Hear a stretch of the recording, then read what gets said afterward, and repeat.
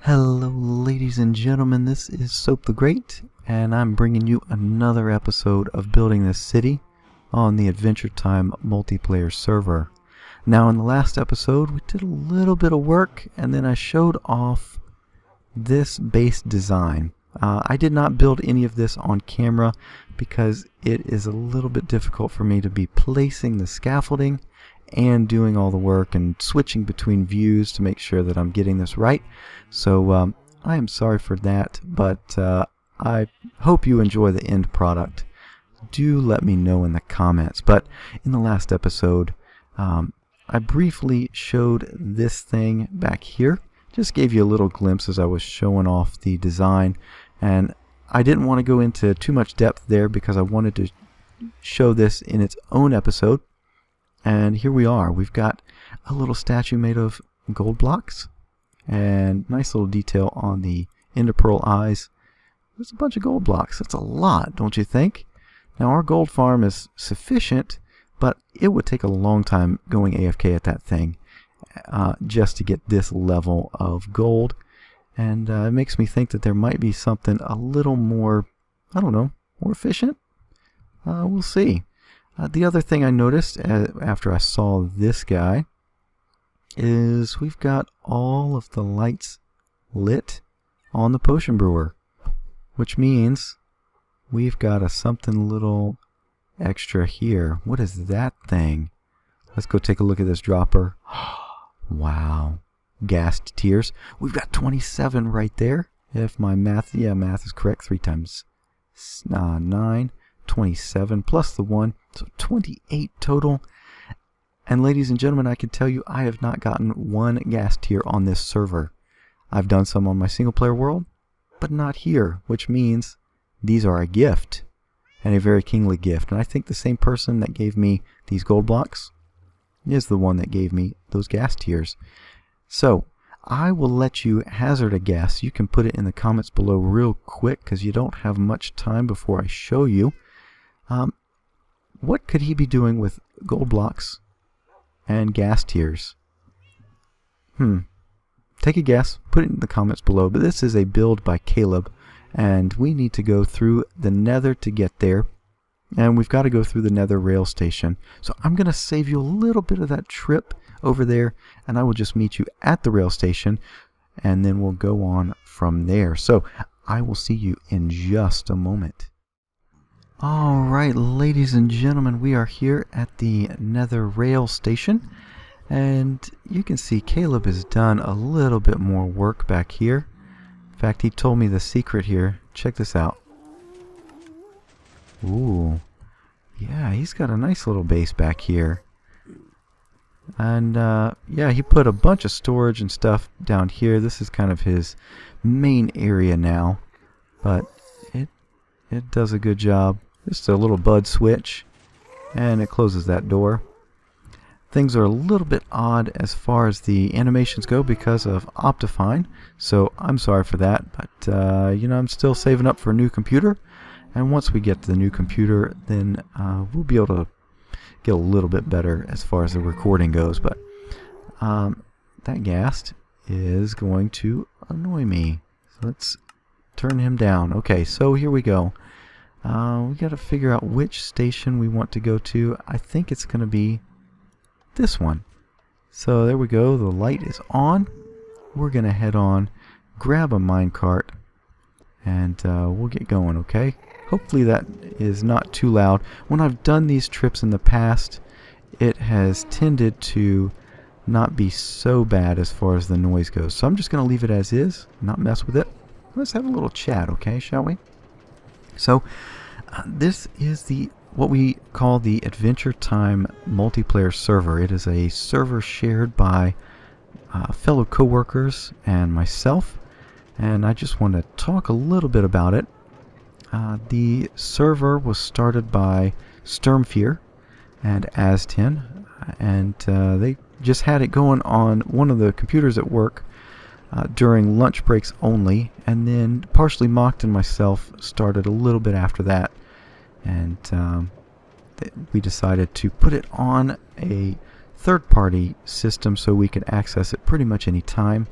And so here we are. Uh, Sturmfear and Azten have, you know, gotten other interests and other things in life have uh, kind of taken over for the time being, and uh, interest in Minecraft has waned a little bit. So, um, for me, the interest has not waned. So, um, I have taken over on the server maintenance. So, uh, that is just um, just how it is for the time being. And uh, so I'm I'm managing the server, and uh, and then I'm doing these. But one of the things is that it is a private whitelisted server and the rules for applications are uh, you must be a coworker and you must play Minecraft.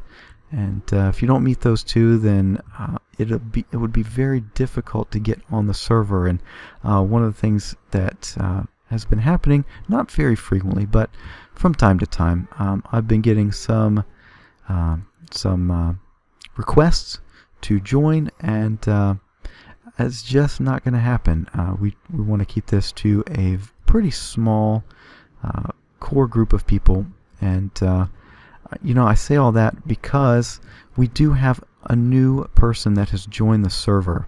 Um, we just did some hiring, and it turns out that a number of them play Minecraft, so they will be joining us. But one has actually joined, and we'll see him around. But uh, we'll we'll see what he brings in. But uh, here is the farm that I wanted to show you. You can see Caleb has left his mark here, a little creeper face up top, and his name. And this is a 3-in-1 farm. It is based mostly on impulseSV's design. I'm, I'm guessing that is one of the inspirations.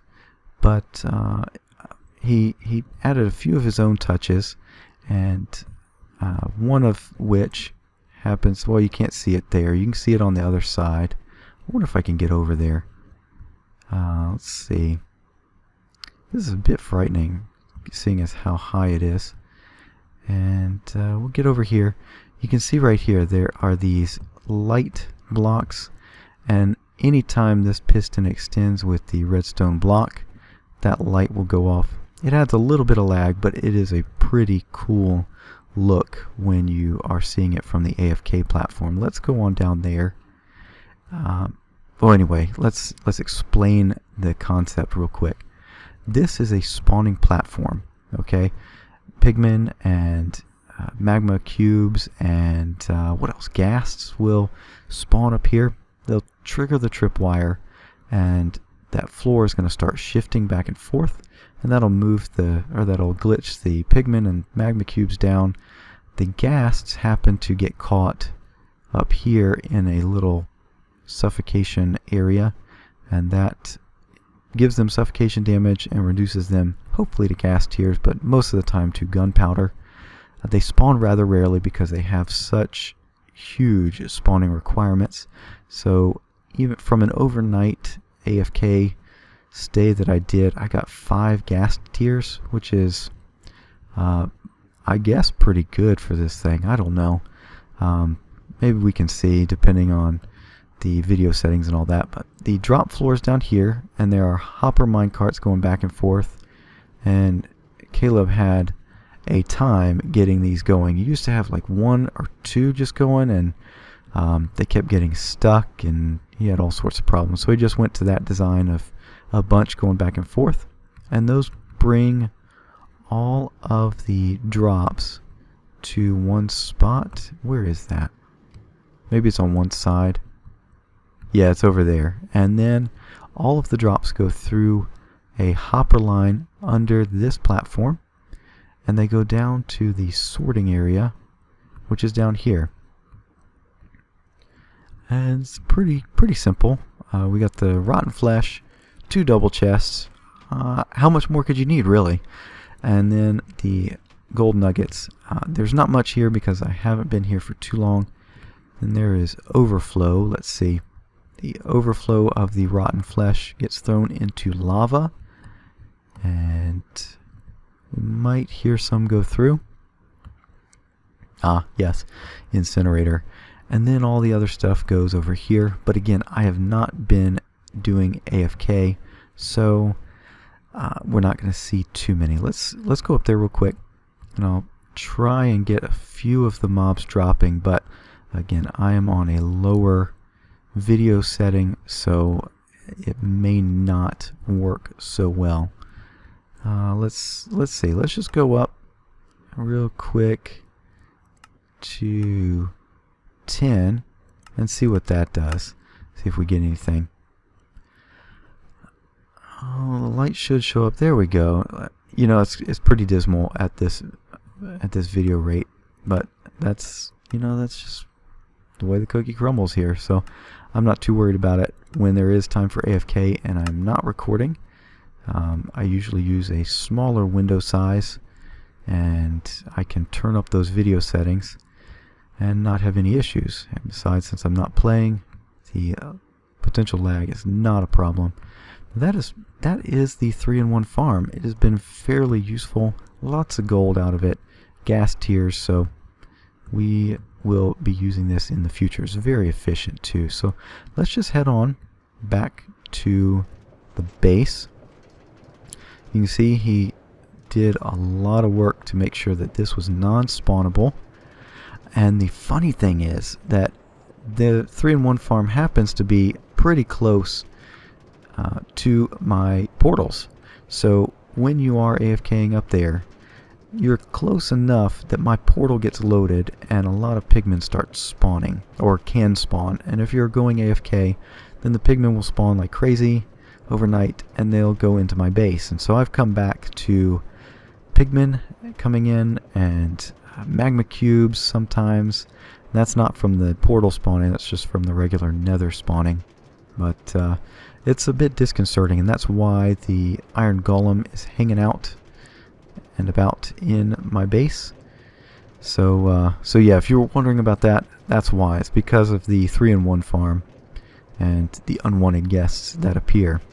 So we are going to head back to my base and we're going to get a little bit of work done on the overall design but uh, I will meet you back there and uh, we'll probably do uh, let's see let's get out of this minecart there we go um, we will probably do a before and after rather than build it on camera and again that's because I really do not I don't do a good job of building and doing all the block placement. So I need to work on that, but uh, I don't want to subject you to it at the moment.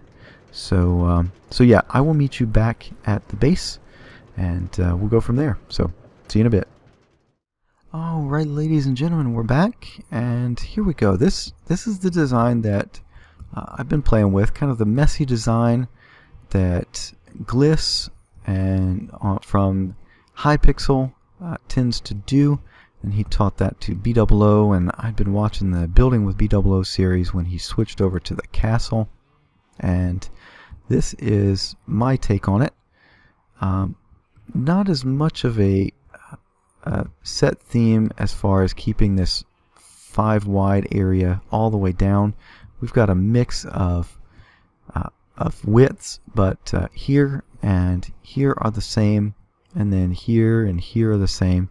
And uh, we've got this design here for this one side and what I want to do is I want to copy it over here so kind of symmetric it's not fully symmetric because the width on the potion brewer and the um, auto furnace thing is not the same as the storage room and the well what will be the stable and farms area um, so it's it's not exactly symmetric. This portal cube is not exactly in the middle, but it's close enough. We got design elements tying it all together, and we've got a color scheme with the green clay, the spruce wood, and the dark oak planks. So what we're going to do is we're going to knock this guy down. Sorry, Caleb, but uh, he's got to go. We got to move the, uh, the this little farm. It was always temporary, So we're going to move it, and it's eventually going to go into the uh, the farm area, like I mentioned, up there, the stables and farm farms. And then we're going to put a little decoration up here. We're going to finish out the ceiling. There's a lot of stuff to be done, but I think I'm going to do, you know what, I'm going to do all of that off camera. So I'm sorry, it's just one of the things. I have a hard time building, uh, talking and building. So uh, what we're going to do is I'm going to just go like this. And when we come back in just a moment, well, no, we'll go like this for the before. And then now we're at the after. So let's take a look. You already see some of the floor. It's all changed. Ta-da! Progress has been made, ladies and gentlemen. That's right. Here we go. So, uh, we've knocked out the statue. We moved the melon and pumpkin farms. Put this in. We blew out that wall, really. So we pushed it back. It, it used to be right here. And just blew it out. Pushed this all the way back.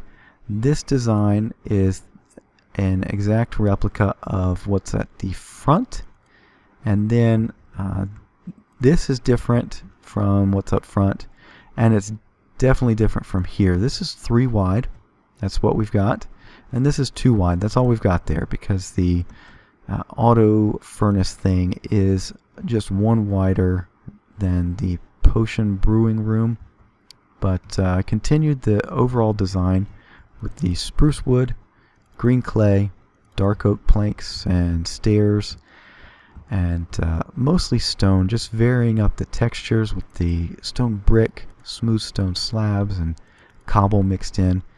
We've got a little bit of lighting just kind of peeking through. It doesn't actually provide any actual lighting because uh, that blocks the block light from coming through. But you can get a hint of it, and it's rather nice. So, so there we go. Um, I hope you're not too disappointed that I didn't bring you along for the building process, but I just wanted to get it done. There's the ceiling continued on through, and there's that design up top. Um, what I found, you know, the potion brewer is an odd length, kind of like the storage area and the stables and farm. This is even, however. So what I did is I split it into two odd sections. This is uh, 18 wide, I think, so it's one, two, three, four, five, six, seven, eight, nine. Yeah. So it's nine each. Um, I bookended them with that setup right there. Got the bushes going. I wanted to bring in some foliage and I really like the spruce wood, at least at the moment, on the Respawn Network slash uh, former XPD. I did have some jungle leaves, but I ended up taking those out. Well, we got some some uh, spruce leaves. Do I have any spruce leaves on me? Oh, spoiler alert. Yeah, don't look at that. Um, and then over here, I put in some more of the foliage. But the things still to do, we need to finish out this floor. And this is not the final design. I just decided to put down stone bricks because they're easy. They've got texture built in. But we've got to pull that out, try something. I don't know. We'll see. If you've got some suggestions for what the floor should look like, do do give me some suggestions. Okay, maybe um, put something in in a creative world, or I don't know. Just uh, let me know what you think. Comments or catch me on Twitter at MC Soap the Great. But uh, but yeah, uh, next thing we also need to move these guys because uh, this is not their final home. They're going to be in here. We've got stables that we're, we're going to go in here. Here's my to-do list, actually. Um, let's see. What have we taken care of? Actually, none of that yet. So, um, you know, we, we've gotten the design done. So now we can start on some more of the farms back here and uh, kind of make this a little bit more self-sufficient instead of having to run to spawn all the time for food and, uh, you know, basic stuff like that. But, uh, but yeah, there we go. What do you think? Do you like it? Do you dislike it? Let me know. Um, I would love to hear from you. Um, for now, oh, there's one more thing. Uh, we'll put this here. You notice that I've covered in the pillars and before I had little holes in them just to walk through um, and this is actually from a tutorial that I did and I did the tutorial as a result of needing this door okay? I, I wanted a column door where the column was kind of in a relief from the wall so I didn't want any pistons showing right there and this is what I came up with. It's a dual piston or dual yeah dual piston extender. And that just pushes those uh, pillar quartz out.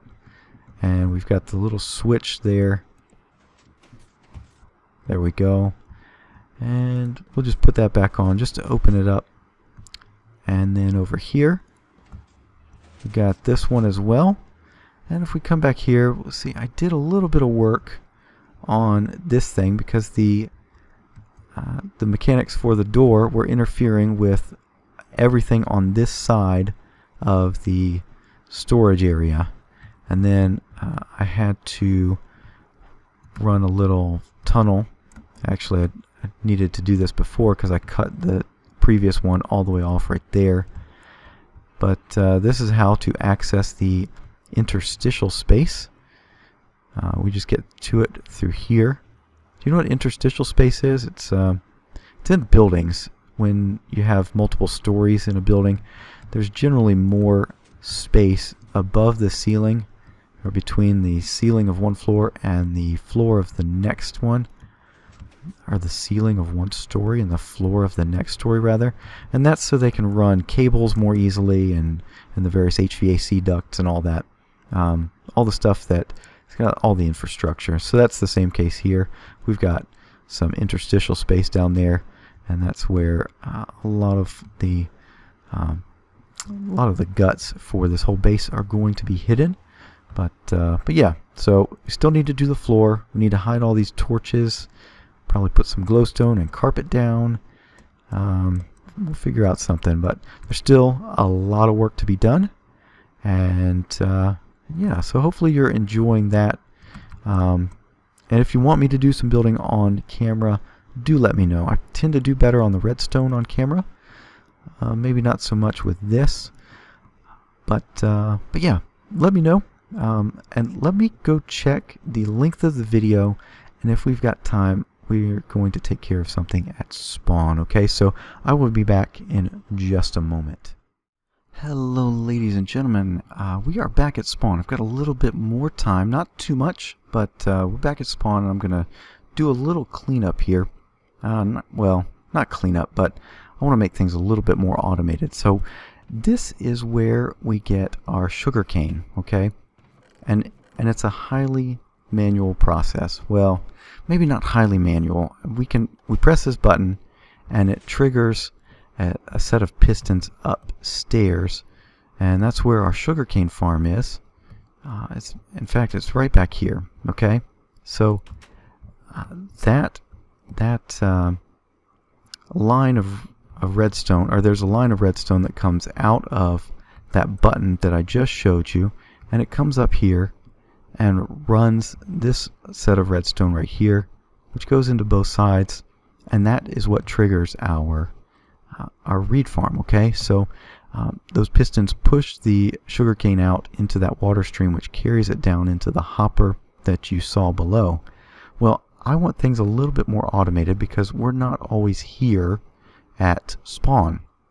So what I've done is I've attached this extra switch here and you will see that it is run by a daylight sensor and it's not fully hooked up because I wanted to show you how this particular piece works. This is a dual edge detector okay so what it what that means is that it will send a pulse when the circuit turns on and when the circuit turns off. So let me just show you that real quick and you'll hear it um, when those pistons extend, okay? Real quick. You see that? The pistons extended when I turned on the circuit. Uh, and it was just a pulse, okay? So then we turn off and it pulses again, okay? It's all well and good.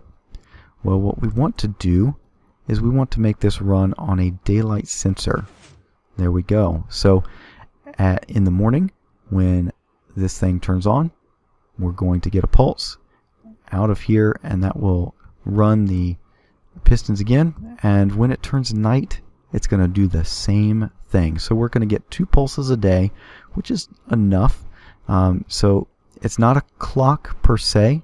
It is a clock in one sense in that it is controlled by the game but because it's the game that is doing it I don't feel so bad. I, I want to try and avoid clocks running here at spawn because of the potential for lag because redstone does run at spawn okay or if you're in the spawn chunks and this is definitely within the spawn chunks. That's in the spawn chunks. So uh, we are here and I want to avoid clocks. So we're just going to use the daylight cycle and and hopefully it will work. I don't know if plants grow when you're not nearby but uh, I don't know, maybe I can look into some myth busting stuff. If you happen to know, do let me know in the comments or on Twitter. But uh, that is it for now. Hopefully you enjoyed this episode. Got a little bit done both at base and and here at spawn. So hopefully you are enjoying. And if you did enjoy this episode, do give it a thumbs up. That would be greatly appreciated. And if you really enjoy and have not done so already, think about subscribing and let me know what you think of the base design and of uh, of some of the stuff I'm doing around here. If you got any ideas for the base or for spawn here, let me know. I would love to hear them. Uh, let's see, still outstanding. I need another name for one of the breeder cats, and I need a name for one of the breeder dogs. So um, that would be greatly appreciated as well. I will definitely give you a shout out if you happen to do that for me. But uh, but yeah, that's going to be it for now, and uh, I will talk to you in the next episode. Bye bye.